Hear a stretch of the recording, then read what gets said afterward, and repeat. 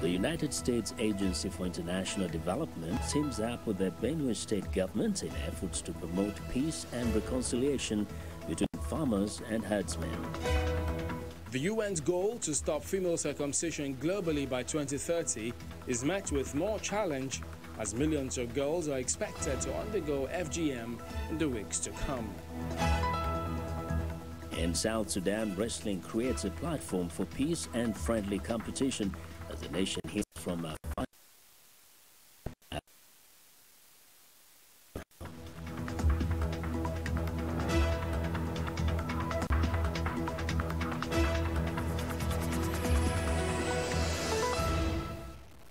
Hello and welcome to Africa 54. I'm Chamberlain Usawa, Channels Television here in Lagos. I'm joined by Vincent Makori at Voice of America in Washington.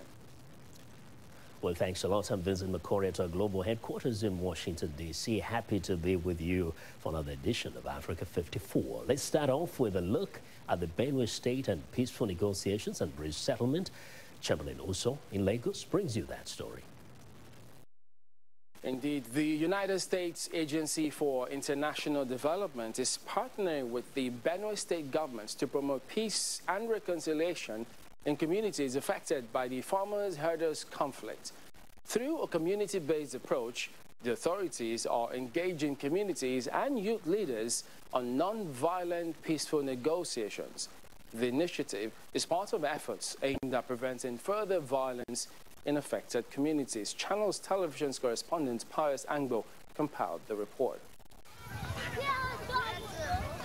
These are victims of herdsmen attacks on January the 1st, 2018, stranded at the Daudu IDP camp two years after the displacements from their ancestral land.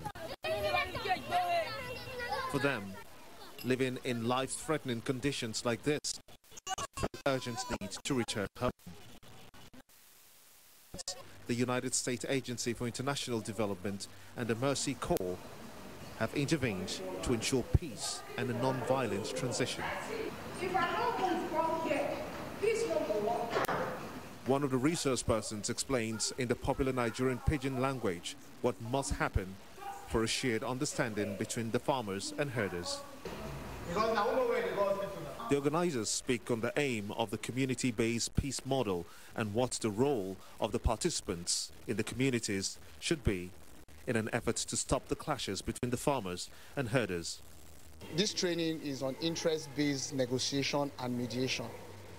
And uh, the essence of this training is to equip these community leaders with the skills and the tools to go back to their community and engage with the opposing parties that they have been in conflict with for so long in a different way.